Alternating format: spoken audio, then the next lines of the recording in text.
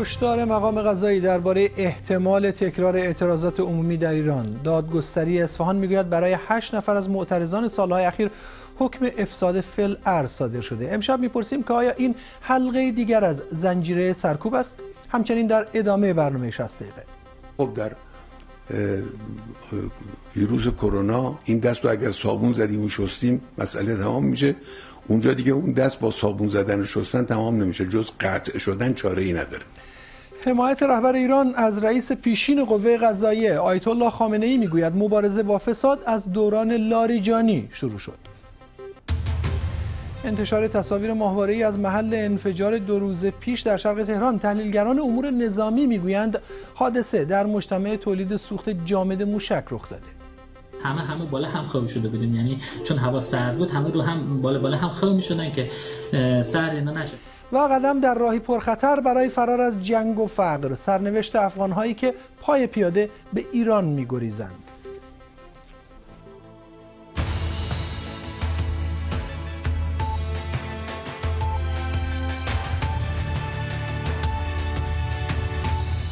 شست دقیقه زنده از بی بی سی در لندن. در ایران قوه قضایی هشت نفر از بازداشت شدگان اعتراض های سه سال اخیر را مفسد فل ارز تشخیص داده. به این ترتیب احتمالا آنها اعدام خواهند شد. محمد رضا حبیبی رئیس دادگستری اصفهان به گونه صحبت کرده که گویا انتظار دارد این احکام مایه عبرت دیگران شود و اعتراض از جنس دیماه 96 و آبان ماه 98 تکرار نشود چند روز پیش مدافعان حقوق بشر گزارش دادند که دیوان عالی ایران حکم اعدام سه نفر دیگر از بازداشت شدگان اعتراضهای آبان ماه سال 1398 را تایید کرده است. امیر حسین مرادی، سعید تمجیدی و محمد رجبی. احکامی سختگیرانه بعد از سرکوب اعتراضهای سراسری. آیا موجی از تصویح حسابهای حکومت با مخالفانی شروع شده که از کشتاری کم سابقه در دو موج اعتراضی دو سه سال اخیر جان به در بردند؟ بیشتر در این باره حرف می‌زنیم. اول گزارشی از علی همدانی حاجی تیر زنن من گفتم مشقیه. یا خدا. یا خدا حاجی جدی دارن می‌زنن یارو افتاده. هفت ماه بعد از انتشار گسترده تصاویری مانند این تیراندازی به سوی تظاهر کنندگان آبان 98 اعتراضاتی که با گران شدن قیمت بنزین شعله ور شد اما بعد دامن همه نظام را گرفت.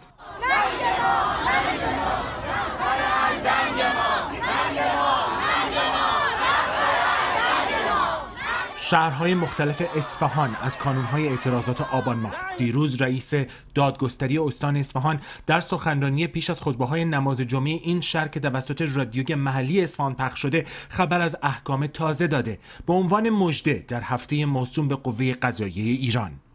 در اختشاشات 98 و 96 الان 7 مورد پرونده که نهایی شده و حکم افساد فل ارز افرادی که مجامع امور با آتش کشیدن و ارتباطشون با بیگانگان ثابت شد صادر شده و در دیوان عالی کشور در حال فرجامپاهی برگرده با قاطعیت اجرا خواهیم کرد. رهبری سازمان مجاهدین خلق دستور قتل تصفیه اخراج اتهامی که از جمله بارها دامن مخالفان نظام را گرفته. این اصطلاح فقهی بعد از انقلاب 57 وارد قوانین جزایی ایران شد و چنانچه فردی به آن محکوم شود مجازاتش اعدام خواهد بود. محمد رضا حبیبی در بخش دیگری از این سخنرانی خط و نشان کشیده. اگر آنچه در سالهای 88 96 و آبان 98 رخ داده تکرار شود قوه قضاییه به گفته او قاطع برخورد می کند دلیل آنچه که آقای حبیبی اوضاع حساس کشور خوانده.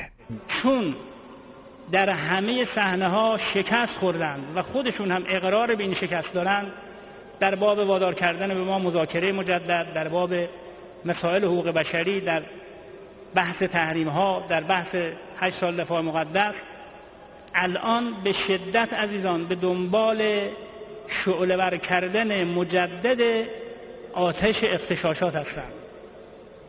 این مسئله که من می‌خوام اینجا خدمت مردم عزیزمون عرض بکنم.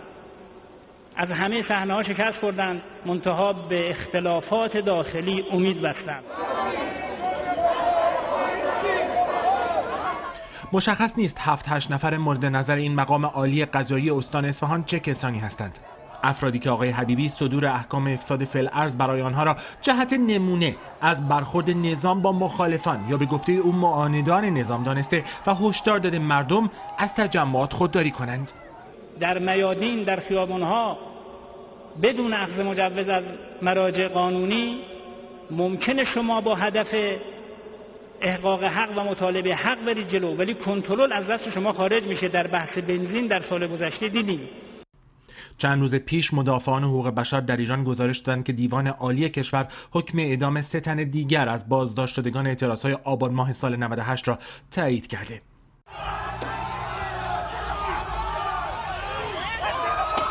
احتمال اعدام بازداشت شدگان در کنار شمار نامعلوم کشته شدگان اعتراضات آبان ماه که سازمان عفو بین الملل آن را دست کم 304 نفر تخمین می‌زند و برخی منابع دیگر آن را بسیار بیشتر شاید زهر چشم باشد. برای جلوگیری از تکرار این رخدادها در روزهای پر التهاب برای جمهوری اسلامی ایران. علی همدانی بی بی سی.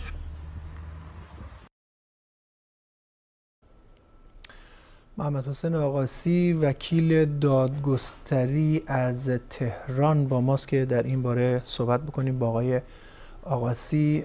متاسفانه ارتباط ما با تهران برقرار نیست به محض اینکه بتونیم ارتباط خودمون رو برقرار کنیم حتما با ایشون صحبت خواهیم کرد. و اما اجازه بدید که به موضوع دیگه بپردازیم. محمد موسوی خوینی دبیر کل مجمع روحانیون مبارز در نامه‌ای به رهبر ایران گفته که مردم به نظام بی اعتماد شدند. آقای خوینی در این نامه گفته بی‌عدالتی در کشور گسترش پیدا کرده و خواستار تغییر رویکرد مسئولان نظام شده.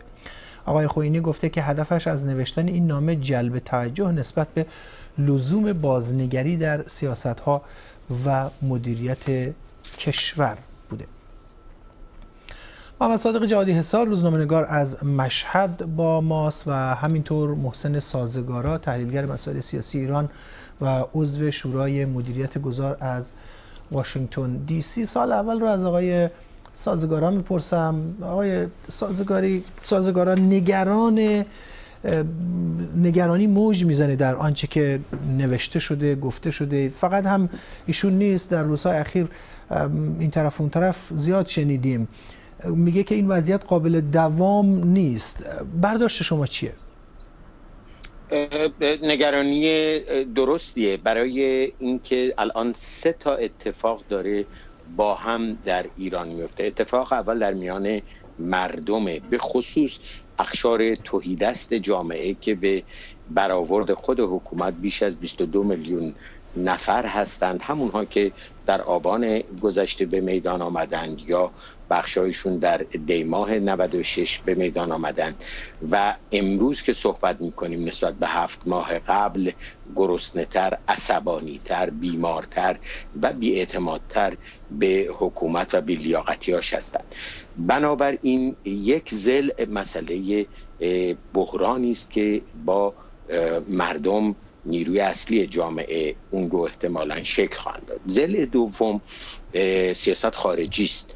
در یک سو امریکا و سیاست فشار حد اکثریش کماکان ادامه داره و سر ایستادن نداره. در سو دیگه اون چیزی که حکام تهران رو با وادار کرده بترسن تغییر سیاست روسیه است. روسیه در سوریه سیاست رو عوض کرده خواستار خروج جمهوری اسلامی است و در مورد دفاع و پشتیبانیش از حکام تهران هم داره دو بار فکر می‌کنه و تجربیات خودش در امر فروپاشی نظام های ایدئولوژیک رو داره به کار می‌گیره و بررسی مجدد می‌کنه ولی زل سوم داخل حکومته بله. حکومت داره به شدت خودش رو تصویه درونی می‌کنه. پسر آقای خامنه مسئول پروژه‌ای شده که حلقه وفاداران به حکومت رو داره کوچیکتر می‌کنه رادیکالتر می‌کنه و فشار به مردم رو هم داره بالا می‌بره. این سومی هم چاره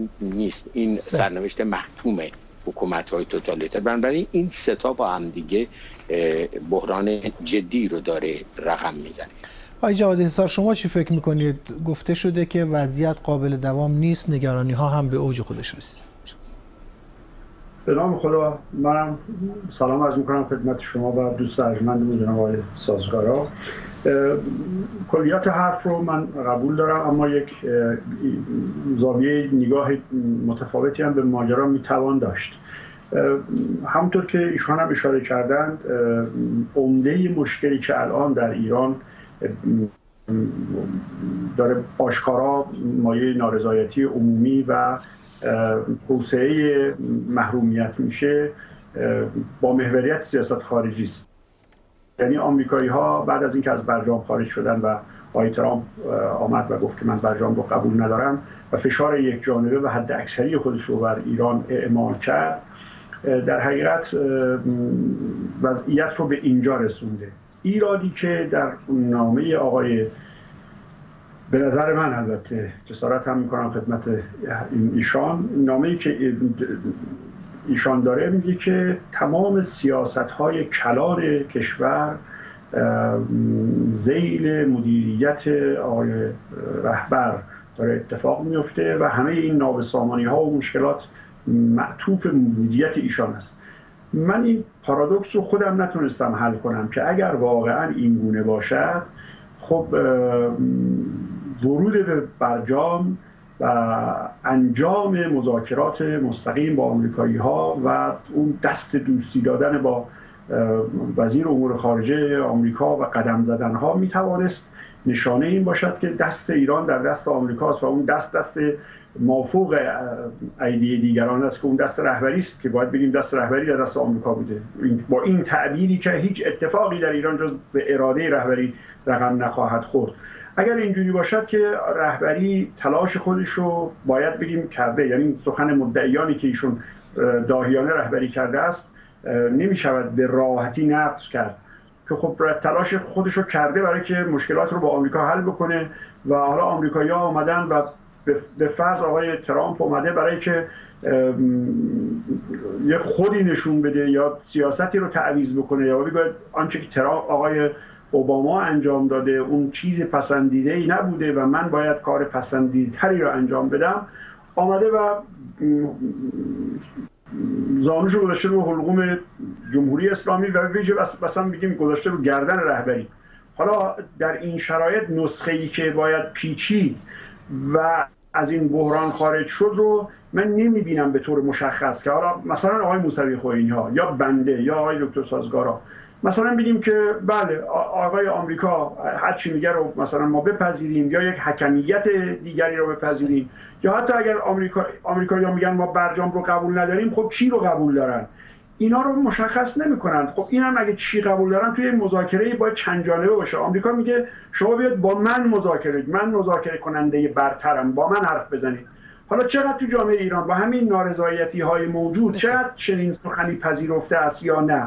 چقدر همون دوستانی که مثل آقای خوینی های این نامه رو می چقدر پای این سخن می توانند وایستن یا نه؟ بحثای دیگه خب در مورد اینکه چه کاری می شود کرد آقای جوادی اصار شاید یکی از سوالهای ما هم این باشه. منتهای سازگارا انتقادها از آقای خامنه ای بالا گرفته.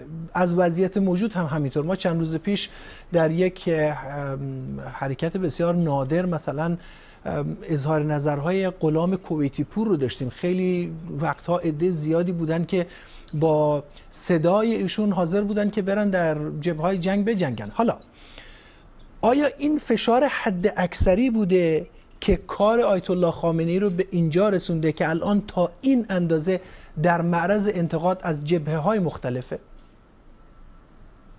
نه به نظر من فشار حد اکثری یک گوشه کوچیکی از اتفاقی است که در ایران افتاده.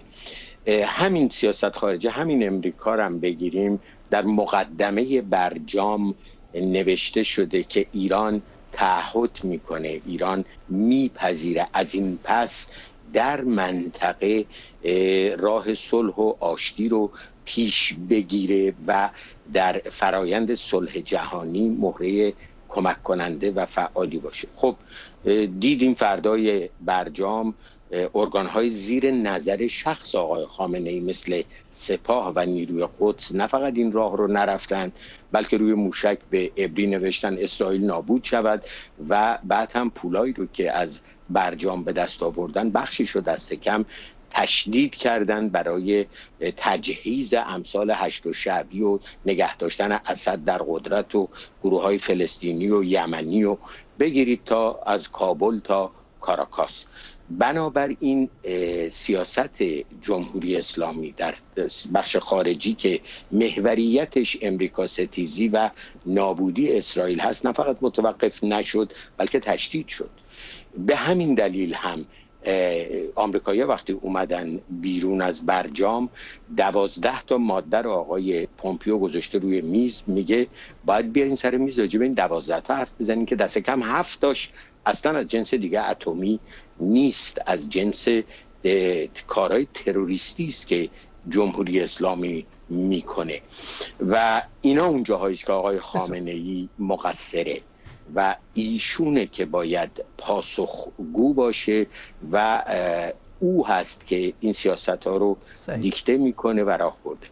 آقای جواد حسار وقتی که برجام داشت به نتیجه می رسید و حتی به نتیجه هم رسید آیت الله خامنه ای به بدون تعارف گفت که فقط مسئله هسته حل و فصل شده و دیگه در هیچ زمینه دیگه ای ما نه با آمریکا مذاکره می‌کنیم نه همکاری می‌کنیم نه هم قراره که اتفاق خاصی بیفته. فکر نمی کنید که مثلا چنین حرفی ادهی رو در آمریکا ناامید می‌کرد از اینکه واقعا ایران بخواد به سمت کاهش تنش ها گام برداره؟ خب چرا ممکنه یه اتفاق بیفته؟ کسی الان مدعی این نیست که آنچه در ایران اتفاق افتاده رهبری درش بینقش بوده. این سخن که آقای میاد مطرح میشه که آنچه در ایران داره اتفاق میفته تامن و تماما تحت نظر رهبری و به اراده ایشون داره انجام میشه به نظر من یه مقدار بزرگ نمایی است. و با واقعیت فاصله داره. چون خیلی از جاها من خودم شنیدم که رهبری میگه من بارها گفتم که این کار رو بکنید ولی هنوز نشده. ببینید این قرار نیست که ما هم مثل بعضی از آقایونی که خلاصه هر دلشون می‌خواد میگه حرف بزنیم. بنده عرض می‌کنم که ایران در خاورمیانه مثلا حضور داره. قبول دارم. حرف شما رو قبول دارم. خب یعنی شما تصورتون اینه که بیخی گوش ایران این طرفش آمریکا باشه در افغانستان. این طرف در عراق آمریکا بیاد نیرو پیاده بکنه و سیاست های خودش رو اعمال بکنه و ایران رو تو محاصره خودش قرار بده و ایران هیچ حرکتی حتی برای منافع خودش. اصلا من اون منافع رو میگم اصلا مخالف با دیدگاه های بنده و جناب آقای دکتر سازگارا باشه. یعنی یک کشور رو می‌توانیم تصور بکنیم که در, در حوزه جغرافیایی خودش و جغرافیای سیاسی و پلیتیک خودش بیاد مثلا اتفاقاتی از این دست بیفته که دو تا کشور این طرف و اون طرفش اشغال بشه توسط آمریکا و ایران بداند که این کشوری که آمده این طرف و اون طرف خودش پایگاه زده برای این است که ایران رو تحت فشار قرار بده تا با سیاست های منطقه ای آمریکا هماهنگ بشه. اون وقت ما بیایم بپذیریم. یعنی می‌شود پذیر. اصلا من کار ندارم به اینکه من موافقم بله. یا مخالف. می‌توان گفت که یک کشوری نباید در این موارد دخالتی داشته باشه حضوری داشته باشه فشاری بیاره. اگر این رو می‌توان پذیرفت خب اشکالی نداره. من حرف های سازگارا رو میپذیرم. ولی واقعیت این است که اروپایی ها از اون بر دنیا میگن سیاست های ما در منطقه خاورمیانه باید اینجوری باشه. بله. آمریکایی ها میگن سیاست ما باید اینجوری باشه.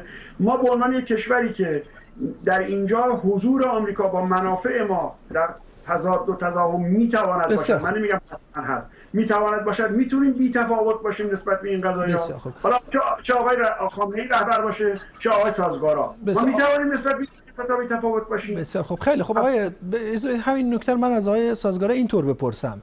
خب بسیاری میگن در ایران مناسباتی وجود داره که قدرت شکل خاص خودش رو داره. فقط یک نفر نیست که تصمیم می‌گیره نوعی از انتخابات هست گروه های متعدد هستن جناح های متعدد هستن. ولی حتی آقای موسوی خوینی های آقای موسوی خوینی هم الان میگن که مسئولیت در حد زیادی متوجه آیت الله خامنه ایه چرا اینطوره؟ چرا بسیاری از بازیگران سیاسی بسیاری از ناظران این رو قبول نمی‌کنن که آقای خامنه ای اون نقشی که به نظر میاد رو نداره؟ ببینید این بحث منو یاد بازجوهای خودم تو زندان اوین میندازه که یه بار به من می‌گفتن فلانی تو چرا انقدر با خامنه انتقاد می‌کنی؟ اون بنده خدا مثلا اگر گوشه سپاهی اتفاقی میفته خب خودش هم راضی نیست این اتفاق میفته پاسخ من این بود و الانم این پاسخ رو میدم. ببینید ایشون فرمانده کل قواست. و ما زمان شاه اگر یه پاسبان تو گوشمون می‌زد می‌گفتیم شاه مسئوله. آقای خامنه ای الان سپاهی بسیجی ارتشی پلیس تحت امرشه. اگر اتفاقی بیفته فرمانده کل مسئوله. باید پاسخگو باشه. ایشون رادیو تلویزیون بالکل در اختیارشه. به موجب قانون اساسی بنابراین وقتی برنامه پخش میشه مسئول این عذر بدتر از گناه بگه که خب حالا اون گوشه حرف منم گوش نمی‌کنه. خب بیلیاقت بیورزه است. قوه قضاییه رو ایشون نصب می‌کنه رئیسشو. این آقای اکبر تبری که دارن محاکمش می‌کنن با یه واسطه مدیر بلافصل ایشون بوده. صادق لاریجانی رو گذاشته او هم اکبر تبری معاونش بوده. اگه دزدی کرده آقای خامنه ای هم باید پاسخگو باشه. چه برسه حالا رده های پایینتر. ایشون شورای نگهبان دستشه تمام انتخابات ها رو مهندسی می‌کنه کنترل می‌کنه بله. بنابراین اون مجلس هم ایشون پاسخگوه دولت رو هم ایشون سیاست های کلان ابلاغ می‌کنه و به موجب باز اصل 110 و دست اون وقت ببینید به موجب این قانون اساسی جمهوری اسلامی روی کاغذ 80 درصد اختیارات کشور در اختیار فردی به نام رهبره. بله. اما آقای خامنه‌ای به این بسنده نکرده. ایشون اضافه بر این نزدیک به نیمی از ثروت کشور رو هم توسط مؤسسات وابسته به خودش تصاحب کرده و دستش رو به خیلی کارهای دیگه هم دراز کرده و به همین دلیلم به حق وضعیت فعلی کشور حاصل عملکرد و مدیریت او و بعدا پاسخگو باشه که نیست. خب آقای اجازه شما متمایل بودید که بگید خب راه حل چیه؟ الان وقتی به این انتقادها نگاه می‌کنیم کسی چندان راه حلی ارائه نمی‌کنه. فکر نمی‌کنید که از نظر بسیاری حتی کسانی که در داخل حکومت هستند نزدیک هستند به جناهای در حاکمیت کار از این حرفها هم گذشته چندان راه حل عملی به ذهن کسی نمی‌رسه؟ خب بنده حرفم اتفاقا همین بود. ببینید من از همین صحبت آقای سازگار استفاده می‌کنم. یه عده زیادی ایراد به آقای خامنه‌ای خواهند گرفت که شما تمام اختیارات کشور رو داشتید چرا در این موارد کوتاه آمدید؟ چرا نگذاشتید؟ آقای خامنه‌ای همون اوایل که رهبری رو پذیرفت خودش همه جا پخش شد که میگم آقا من, من نمی‌خوام این کارو بکنم. ولی حالا به هر تقدیر گردنش گذاشتن یا اصلا ایشون تمایل داشت پذیرفت. من کاری ندارم.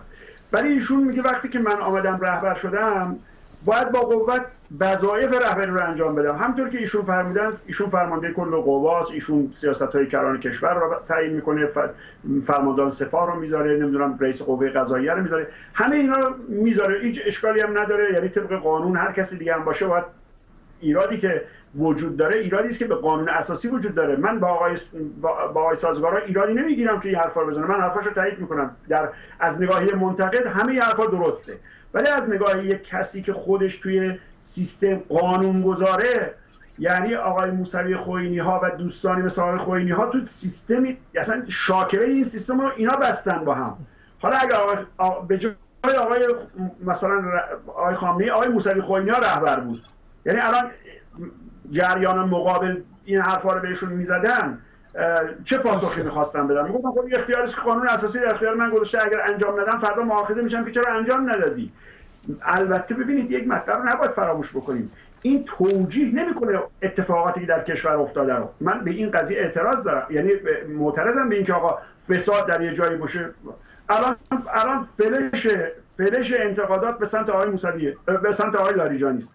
در این فضایی که فلش انتقادات به سمت آقای لاریجانی است رهبری بیاد بگه که نه ایشون بیگناه در مورد در دوره ایشان هم این فساد مبارزه با فساد آغاز شده. خب اگر در دوره ایشون مبارزه با فساد آغاز شده واقعا چرا این اتفاق برای همین آقا آقای تبری نیفتاد؟ که ایشون حتی م... حتی بهش گفتن آقا این آقای تبری مشکل داره. ایشون گفت من بررسی کردم مشکل صحیح کاملا درست. خیلی خب آقای سازگار 30 ثانیه وقت داریم که هر دو آقایون جنبندی کنن. بفرمایید شما. من ارزم این است به نظر می‌رسه با آقای جوادی سار الان به توافق رسیدیم. ببینید اشکالات این نظام به ذات بالعرض نیست. یعنی با این آدم و اون آدم حتی خود رهبر نیست. اشکال این نظام در تئوری بنیانی نشه که اسلامگرایی ایدئولوژیک انقلابیه و یه قانون اساسی هم بر اساس اون شکل گرفته. به همین دلیل هم من به عنوان فرد با دوستان اصلاح طلب زاویه پیدا کردم برای اینکه می‌گفتم از درون این نظام دیگه نمیشه اصلاحش کرد. باید قانون اساسی عوض شه و کل این نظام تغییر بکنه. آقای جوادی حسار نمیشه این ساختار رو اصلاح کرد؟ به نظر من اگر یه مقداری انعطاف اتفاق بیفته چرا؟ ببینید قانون اساسی پیش بینی کرده رفراندوم بذاریم. من پیش بینی می‌کنم اگر که رهبری یعنی این ضرورت رو احساس کنه که آقا ما می توانیم اختیارات رهبری رو محدود کنیم و به اینو به رفراندوم بذارن. بگن آقا آقای رهبر اصلا وارث انقلاب بودن همه الان چه تضمینی که رهبر بعدی همین دلسوزی همین اشراف همین توانایی مدیریتی که الان در مورد آقای خامنه‌ای گفته میشه رو داشته باشه. بنابراین تمرکز قدرت در یک فرد. و دو اون فرد امام خمینی هم باشه می‌تونه خطا ایجاد کنه. بنابراین بیان یه کاری بکنن که در آینده نزدیک رفراندومی صورت بگیره تفکیک قوا صورت بگیره. واقعا رئیس قوه قضاییه رو مثل همون اوایل قضات مملکت انتخاب کنن. رئیس رئیس تلویزیون رو رسانه های و مسئولین ملی کشور بله. انتخاب کنن. این تمرکز در یه جایی که به وجود بیاد می‌تواند منشأ تحریف اتفاقات ناگوار باشه. خیلی ممنونم از محمد صادق جوادی اسا روزنامه‌نگار در مشهد و همینطور محسن سازگارا تحلیلگر مسائل سیاسی ایران و عضو شورای مدیریت گذار از واشنگتن پایتخت آمریکا. ممنون از شما.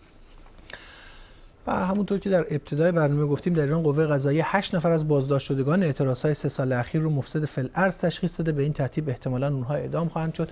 محمد رضا حیبی رئیس دادگستری اصفهان به گونه‌ای صحبت کرده که گویا انتظار داره این احکام مایه عبرت دیگران بشه. از تهران محمد حسین آقاسی وکیل دادگستری با ما هستند. آقای آقاسی این افراد در اعتراض های معیشتی حضور داشتن. این حکم چطور برای اونها صادر شده؟ چطور قاضی می‌تونه به چنین نتیجه رسیده باشه که اونها رو مفسد فل ارز تشخیص بده؟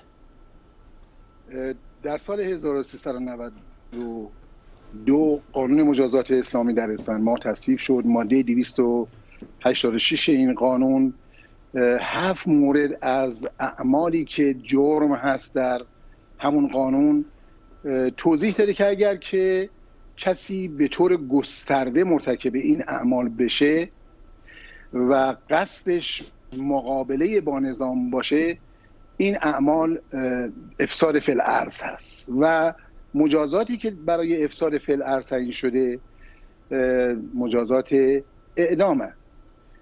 پنجمین نوع این عملی که در نظر گرفته شده احراق و تخریب یعنی به آتش کشیدن جایی و تخریب محلی هست.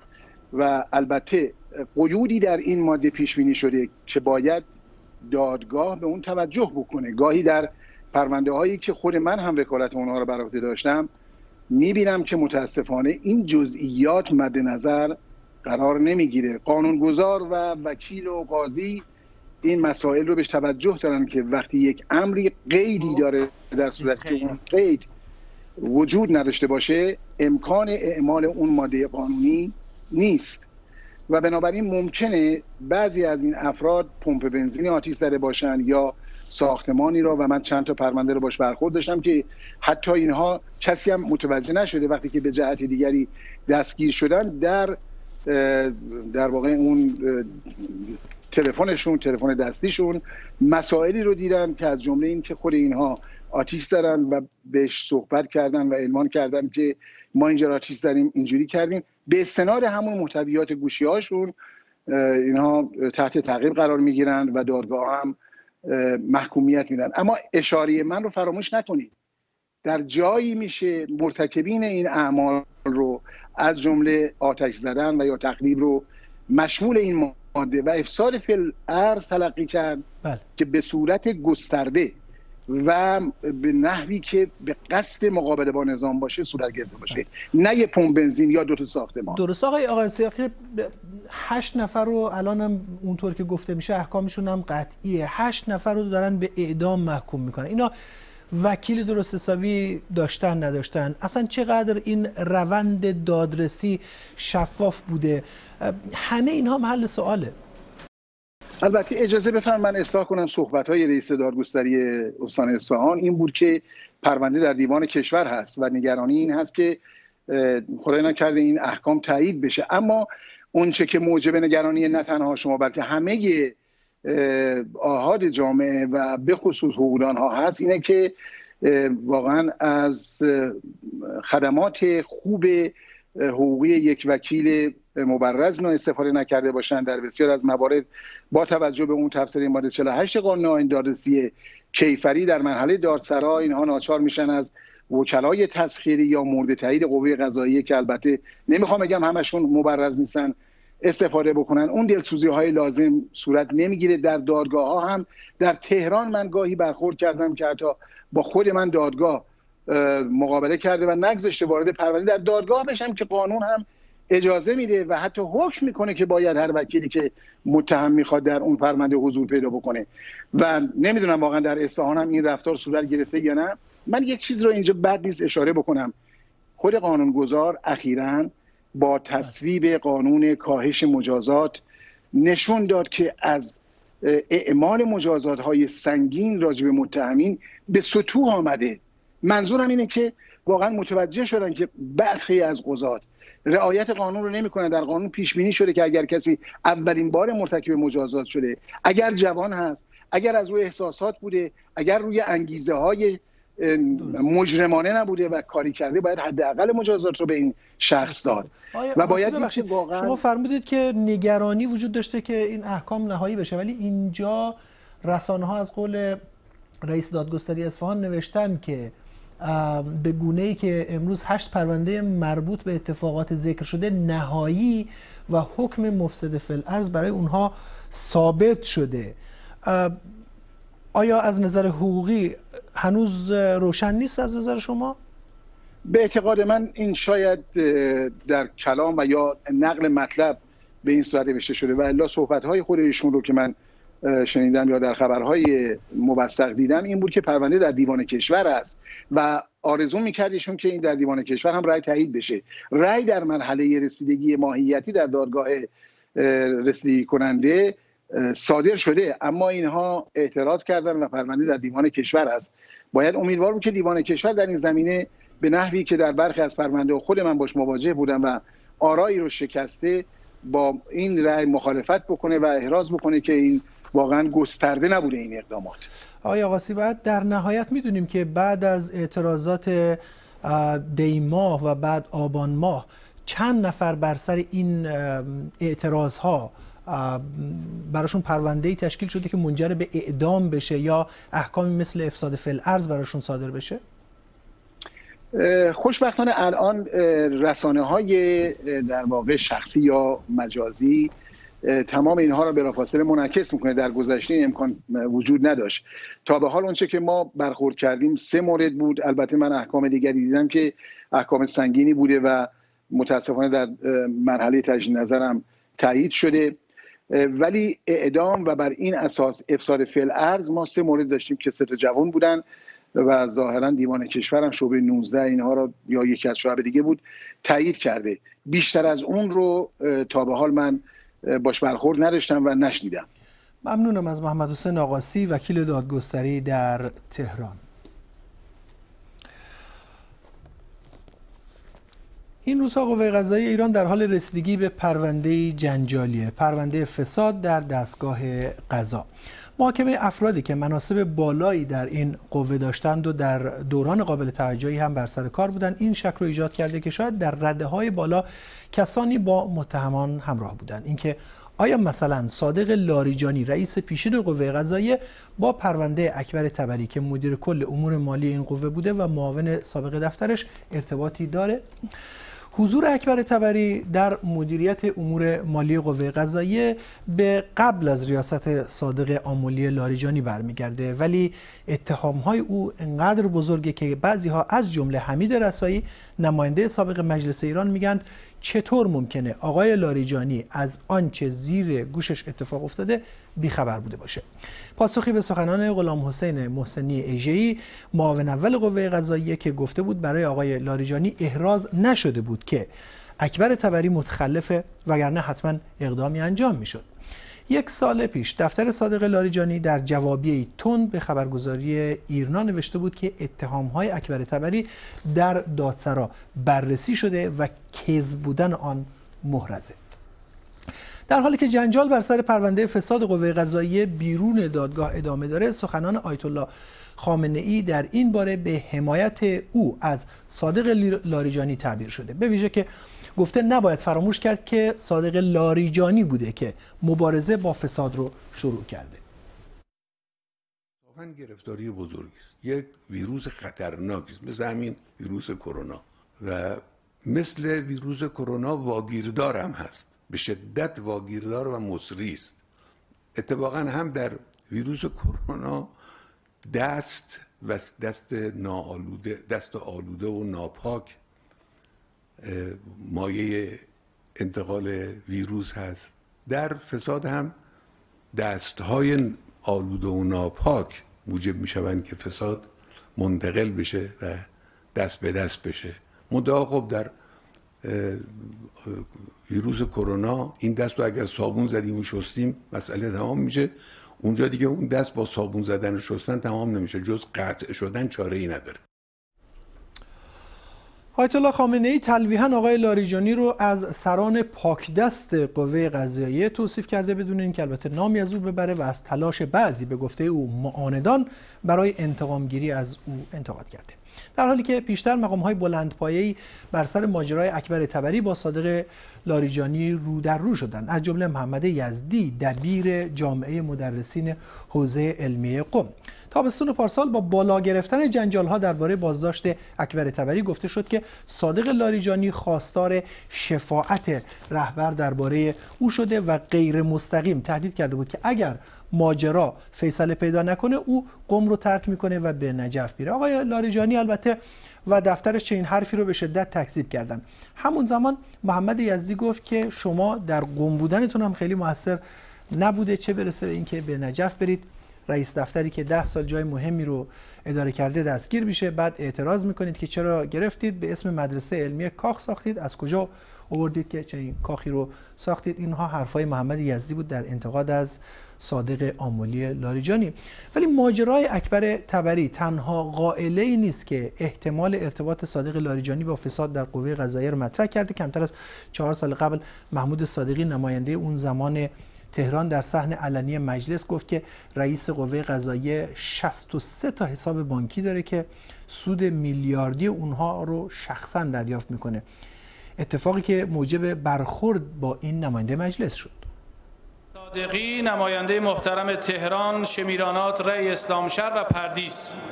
از رئیس محترم قوه قضاییه به عنوان قوه‌ای که پشتیبان حقوق فردی و اجتماعی و مسئول تحقق بخشیدن به عدالت هست تقاضا می‌کنم برای جلوگیری از ادامه سوء استفاده های بیگانگان و برای شفاف سازی و تنویر افکار عمومی گزارشی از عملکرد این حساب ها شامل مبالغ واریز شده سود حاصله و موارد مصرف آن را طی پنج سال گذشته اعلام بفرمایید. محمود صادقی بود. این نماینده مجلس بعد از این تحت پیگرد قرار گرفت. ماجرای حساب ها کاملا روشن نشد. هرچند صادق لاریجانی تاکید داشت که همه چیز با اجازه آیت الله خامنه ای رهبر اتفاق افتاده. حالا یک دفعه دیگه آیت الله خامنه ای به پرونده هایی که نام صادق لاریجانی در اون مطرحه به نوعی وارد شده. پرونده هایی که با نام جنجالی اکبر تبری و البته غلامرضا منصوری هم گره خورده که مرگ پر ابهامش این پرونده رو پیچیده تر کرد. امید منتظری همکارم از لندن با ماست از نقطه دیگر. لحظه هم امید رو دیدیم دوباره می‌بینیم. امید لحظات پیش آقای لاریجانی به حرفای آیت الله خامنه ای واکنش نشون داد. درسته؟ این آقای لاریجانی یه بیانیه ای صادر کردن الان و قدردانی کردن از رهبر ایران به خاطر حمایتی که از ایشون کرده و گفتن که هیچگاه از هیچ فرد مفسدی حمایت نکرده و به نحوی میشه گفتش که این با موضع قبلی آقای لاریجانی که درباره آقای تبری به نفی گفته بود که پرونده به هر صورت رستگی شده به نفی خواسته بود آقای تبری از زیر اون فشار در بیاره. با اون موضع قبلیش دیگه میشه گفت نمی‌خونه و یه موضع کاملا جدیده. گفته من از کسی حمایت نمی‌کنم. و میشه گفت به نحوی این دیگه پایان ماجرا خواهد بود در مورد اتهاماتی که به هر صورت از طرف بخشی از جناهای داخل حکومت از طرف خود اصولگرایان در مورد آقای لاریجانی مطرح می‌شد. خب در مورد آقای لاریجانی تقریبا حساب کتاب روشنه به نظر میاد با این حرفای آیت الله خامنه ای ولی در مورد گسترده شدن این پرونده فساد چه؟ به هر حال آقای رئیسی با این ادعا اومده که گویا می‌خواد مبارزه با فساد مالی رو در قوه قضاییه به عنوان یکی از کارهای اصلی خودش ادامه بده. جمال اولین نکته ای که باید فراموش نکنیم اینه که موضع آقای خامنه ای در مورد آقای لاریجانی موضع تازه ای نبود. تو شرایطی گفته شد که آقای لاریجانی تحت فشار بود اما این موضع یک موضعی بودش که دائما در سالهای گذشته تکرار شده بود. آقای خامنه ای با القاب بسیار برازنده ای از آقای لاریجانی یاد کرده بود. گفته بود اون مدیری هوشمند عالمی فاضل مردی مخلصه و دائما در این سالها سعی کرده بودش که از او حمایت کنه. اما موضع کلی آقای خامنه ای همواره این که که در مورد قوه قضایی مطرح می‌شد و حتی در مورد دولت آقای احمدی نژاد که اون جمله مشهور رو گفت که این پرونده رو دیگه کش ندیم موزش این بوده که این پرونده ها از یک حدی فراتر نده واقعیت اینه که زمانی که پرونده های فساد در ایران مطرح شد که در دوره آقای لاریجانی بودش این یه جور همون زمان هم اعلام شد که یه جور پاسخیه به بحران های اقتصادی پاسخیه به در واقع خواست مردم در مورد اعتراضاتی که داشتن و اینها و یک پاسخ اقتصادی بود. الان توی پرونده آقای تبری تو این چند وقت اخیر مسئله فراتر رفته. مسئله هم اقتصادی هم سیاسی. یک جنبه اقتصاد سیاسی پیدا کرد و دیگه با مرگ مشکوک قاضی منصوری در رومانی ابعاد بین المللی گرفت. برای همین دیگه وقتش بودش که این پرونده تا حدی حدودش روشن بشه. و همین چند روز قبل هم خود آقای رئیسی رئیس قوه قضاییه گفتش که این موارد فساد در قوه قضاییه یه جوری استثناست و این در مورد تمام افرادی که در قوه قضاییه بودن صادق نیست. ممنونم از امید منتظری. تقریبا دو روز بعد از انفجاری که شرق تهران را تکان داد هنوز ابعاد این حادثه روشن نشده. ایران گفته آنچه اتفاق افتاده نتیجه نشت یک منبع گاز بوده. ولی تحلیلگران امور نظامی در غرب می‌گویند انفجارها در مجتمعی رخ داده که کارش توسعه و تولید سوخت جامد برای برنامه موشکی ایران است. کسرا ناجی گزارش می‌دهد. اینجا پردیسه اینجا پشت کوی یه دفعه صدای انفجار اومد. هنوز روشن نیست که پریشب کمی بعد از نیمه شب دقیقا چه اتفاقی در شرق تهران افتاد. آنچه که روشن است این است که انفجاری بزرگ رخ داد که نور آن از کیلومترها آن طرفتر دیده می‌شد. حالا از تصاویر ماهواره‌ای که منابع غربی از نقطه انفجار منتشر کردند معلوم است که انفجار در 20 کیلومتری شرق تهران در منطقه‌ای به نام خوجیر رخ داد. در مجتمع صنعتی شهید همت این مجتمع در جنوب غربی شهرک پردیس واقع شده و 20 کیلومتری شمال پارچین یکی دیگر از مراکز نظامی ایران. این مجتمعی است که به گفته یکی از کارشناسان مرکز تحقیقات عدم اشاعه تسلیحات جیمز مارتین در کالیفرنیا کاران توسعه و ساخت سوخت جامد برای موشکهای بالستیک ایران است. این مجتمع متشکل است از رشته تأسیساتی که همگی با فاصله از یکدیگر در زمینی به مساحت تقریبا 15 کیلومتر مربع ساخته شدند. منابع غربی می‌گویند انفجار اینجا رخ داد. ظاهرا همون جایی که مقام های ایران می‌گویند چند منبع بزرگ گاز بعد از نشت گاز از یکی از آنها منفجر شدند. اینجا محل انفجار مخازن گاز در منطقه پارچین است که این گزارش تلویزیون ایران روز بعد. دیروز. این مخازن هم می‌بینید.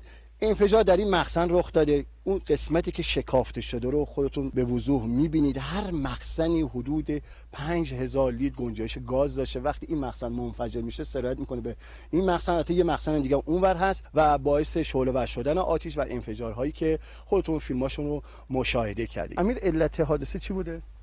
خب نشت گازی که در این مخازنی که ملاحظه میفرمایید این مخازن دستی در حقیقت پر میشه. نشت گاز باعث شده که این انفجار صورت بگیره و یکی دوتا از مخازنی که کنار این مخزن هست هم تحت تاثیر قرار گرفتن و به تبعش یک آتش سوزی در حقیقت بزرگی رو ما اینجا شاهد بودیم.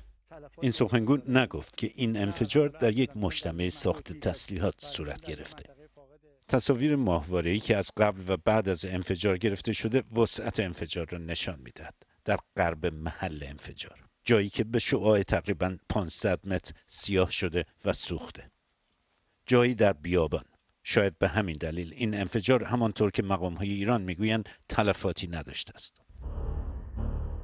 این تصاویر تلویزیون ایران از انبارهای تولید و ذخیره موشک.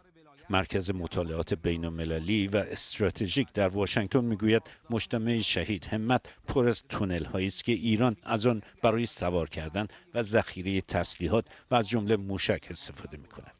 اگر چنین باشد انفجار پریشب در خوجیر می توانست بسیار خطرناک باشد و پرتلفات. کسرانجی بی بی سی چند ماه بعد از سرایت کرونا به ایران آثار اقتصادی شیوع این بیماری کم کم نمایان می شود. روزنامه شرق به نقل از وزارت کار ایران می‌گوید که دست کم یک میلیون نفر که در اثر کرونا شغل خود را از دست دادن تقاضای بیمه بیکاری کردند. آن دسته که واجد شرایط دریافت این بیمه تشخیص داده می شوند به مدت سه ماه کمی بیش از 800 هزار تومان حقوق ماهیانه خواهند گرفت. مبلغی کمتر از نصف حداقل دستمزد تعیین شده. اما همین مبلغ هم مشمول کسانی که قرارداد رسمی و بیمه ندارند نمی شود گروهی که بر اساس آمار رسمی 60 درصد شاغلان در ایران را تشکیل می‌دهند. باران عباسی گزارش می‌دهد. همین الان من میگم همه تو شاغل نیرو جاری زیاده. نمونه ای از برخورد با کارگران معترض در ایران. شما دست من بوسیدی اومدی. بله.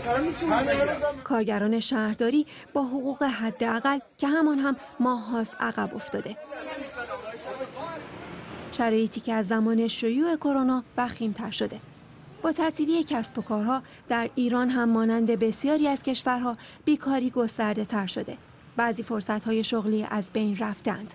ما تو مؤسسه زبان کار می‌کردیم. خب موقعی کرونا اومد ما کلا میشه گفت 90 درصد این شاگردامون از دست دادیم و مجبور شد مدیر مؤسسهمون بگه آقا من خب اینجوری اصلا نه صرف اقتصادی درو نه دیگه واقعا می‌تونم شما نگه من دانشجو بودم و می‌رفتم سر کار در هتلی کار می‌کردم. ولی الان اگم از 15 بهمن به بعد که هتل‌ها اکثرا تعطیل شدن اینا من بیکار شدم و در خانه و دانشگاه هم تعطیل شد.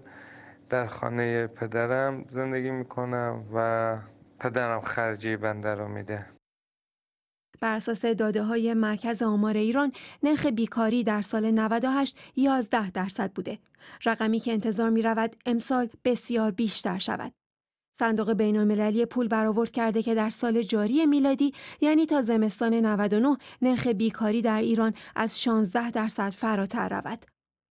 روزنامه شرق می‌گوید بر اساس اطلاعاتی که از وزارت کار دریافت کرده از میان کارمندان رسمی که شغلشان را از دست دادند در چهار ماه گذشته یعنی از زمان شدت گرفتن شیوع کرونا در ایران حدود یک میلیون نفر تقاضای بیمه بیکاری کردند. از این تعداد آن دسته که درخواستشان قبول شود به مدت سه ماه ماهیانه 825 هزار تومان حقوق بیکاری خواهند گرفت یعنی کمتر از نصف حداقل دستمزد تعیین شده امسال بیشتر درخواستها از استان تهران بوده. استانهای فارس، اصفهان، خوزستان، مازندران و گیلان از جمله مناطقی هستند که بیشترین شماره بیکاران را نسبت به جمعیتشان دارند. همان استانهایی که شیوع کرونا در آنها گسترده تر بوده. این حال بسیاری از کسانی که بیمه هستند هم نتوانستند حقوق بیکاری یا وام دریافت کنند. بنده مربی شنا هستم و در شهر عراق فعالیت می‌کنم. قرار بود که بعد از تعطیلی استخرا و بیکار شدن مربیایی که شغل اصلیشون مربیگری هست و از این راه خودشونو بیمه کردن و امرار معاش می‌کنن بهشون وام تعلق بگیره. ولی خب حرفشون رو تغییر دادن و بعد از گذشت 6 ماه هنوز یک ریال کمک هزینه به هیچ کدوم از مربیا پرداخت نشده. منی که مربیم مستجرم و متعهل هستم و تنها راه درآمدم از طریق مربیگری بوده الان که استخرا تعطیل شده چرا نباید هیچ گونه کمک هزینه و وامی به بنده تعلق بگیره؟ وضعیت کارمندان غیر رسمی از این هم بدتر است. گروهی که به گفته مرکز پژوهش‌های مجلس 60 درصد از شاغلان در ایران را تشکیل می‌دهند. کسانی که بیمه نیستند و به این ترتیب شرایط تقاضای بیمه بیکاری را هم ندارند. در سنف و شغل ما در اکثر جایی که میریم بیمه متاسفانه نمی‌کنن. بگیم میگه آقا همین که هست. می‌خوای می‌خوای می‌خوای نمی‌خوای لازم من یک بار هم در یه جای دیگری من قبلا کار می‌کردم. حتی آقا بیمه هم بودم اداره مراجعه کردیم به اداره بیمه و اینها انقدر دردسرهای اداری و نمی‌دونم که آقا برو نمی‌دونم صاحب کسبت بیاد نامه بگیر اینها کلا هم بیخیال میشه در این میان شرایط زنان بدتر از مردان است. بیش از 60 درصد کارمندانی که بیمه نیستند را زنان تشکیل می‌دهند که از نظر حقوق و فرصتهای شغلی هم در جایگاه پایین تری از مردان قرار دارند. شیوع کرونا بسیاری از کسب و کارها را به تعطیلی کشانده. بسیاری از کسانی که کار را از سر گرفتن هم باید تا بازگشت به شرایط اقتصادی دوران پیش از شیوع بیماری ماها صبر کنند. در این میان شمار زیادی از آنهایی که هنوز شغلی دارند هم هایشان خالی است. دستمزدهایی که ماهاست به دستشان نرسیده. کارفرمایانی که پاسخگو نیستند و کارگرانی که چاره جز انتظار کشیدن ندارند. باران عباسی بی بی سی این ماه ماه اطلاع رسانی جهانی درباره وضعیت پناهجویان و پناهندگان بود سازمان ملل متحد می‌گوید در هر دقیقه 20 نفر خانه و دار و ندارشان را رها می‌کنند تا از کشتار، شکنجه و جنگ فرار کنند. یکی از بزرگترین گروه های پناهجو در جهان افغان ها هستند. فؤاد مسیحا در این گزارش نگاهی کرده به شیوه های ورود قاچاق افغان ها به ایران. همه همه بالا هم خواب شده بودیم. یعنی چون هوا سرد بود همه رو هم بالا بالا هم خواب می‌شدن که سرد اینا نشه یکی از سردی بیابان مینالد. می‌خورین؟ یکی از آتشی که به جانش افتاده. داستان هزاران هزار انسانی که تن به خطر می‌دهند و در جستجوی زندگی بهتر به آب و آتش می‌زنند. یه امیران بچه می‌بینی؟ همه جهان خدا قرآن فیصله کرد. بعد از اون می‌گفت ما فقط تنها کاری که کردم می‌گفت راننده می‌گفت من فقط در ماشین وا کردم به مردم گفتم فرار کنین. در صندوق عقب وا کردم. در صندوق علی 13 سال پیش قاچاقی به ایران رفت. از مرز نیمروز در غرب افغانستان وارد خاک ایران شد و بعد از چند شبانه روز خود را به مشهد رساند. به گفته خودش بخشی از مسیر را پیاده رفته بود و بخشی دیگر را با شوتی هایی که افغان ها را جابجا می کنند می‌گفتن ماشین مهاجر چیز افغانی کشه. مهاجر افغانی ماشین ماشین افغانی کشه.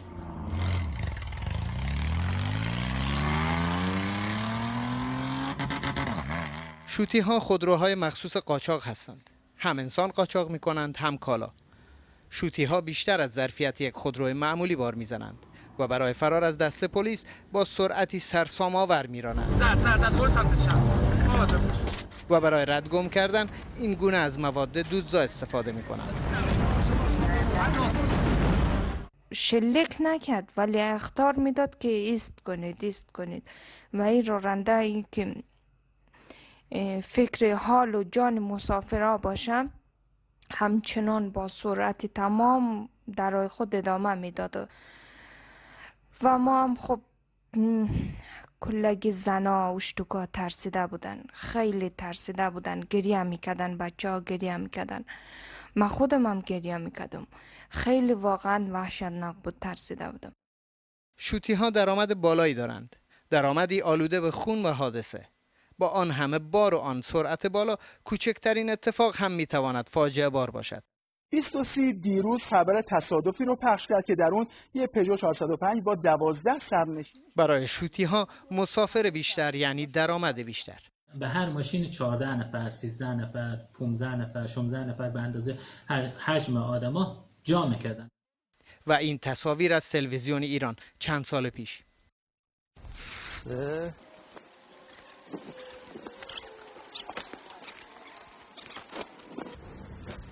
هیفدت تو صندوق بودی؟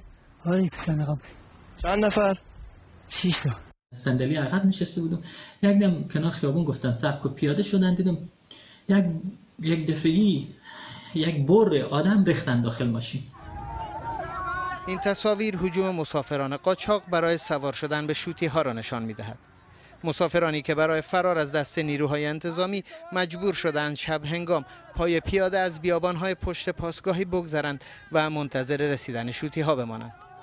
با که ما اذیت شده. میدویدم و میدویدم میدویدم و میدویدم میدویدم و میدویدم اونجا نورم انداخت داخل بیابون اما ما میدویدم برم همو قاچاق بر گفت اگه هم پیش را برم پشت پاسگاه کامل گفت اگه ما اگه مواظب باشی مواظب باش. اگه اینجا تیر بارون کردن نترسی خود خب بندا فقط رو زمین. علی خوش شانس بود و بعد از چند روز به مقصد رسید. اما نیروهای ایرانی دنیا و همسفرانش را در کوههای غرب ایران پیش از آن که وارد ترکیه شوند بازداشت و به افغانستان رد مرز کردند. سه شب و سه روز در توی راه بودیم. وقتی که از او کوههای بلند بلند بالا شدیم در اونجا که رسیدیم دیگه صدای شلیک آمد. اینقدر تیرای هوایی شلیک کردن که کل مسافرها استاد کرد و قاچاق بری که با ما بود و غیب شد. دنیا در ایران به دنیا آمده و همانجا بزرگ شده. در افغانستان نه کس و کاری دارد نه خانه ای نه کاروباری. او دوباره از راه پاکستان خود را به ایران میرساند اما این بار هم به دام میافتد.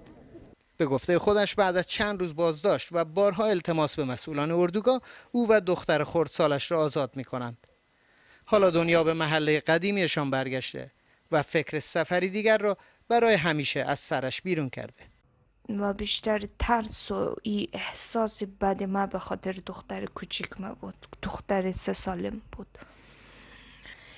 خیلی حسی بدی بود خیلی حسی بدبختی و بیچارگی بود که آدم در حال خودش واقعا گریه می‌کنه. واقعا گریه داره. واقعا هم گریه داره. فعاد مسیحا بی بی سی. ممنون از اینکه برنامه 60 دقیقه رو تا آخر تماشا کرد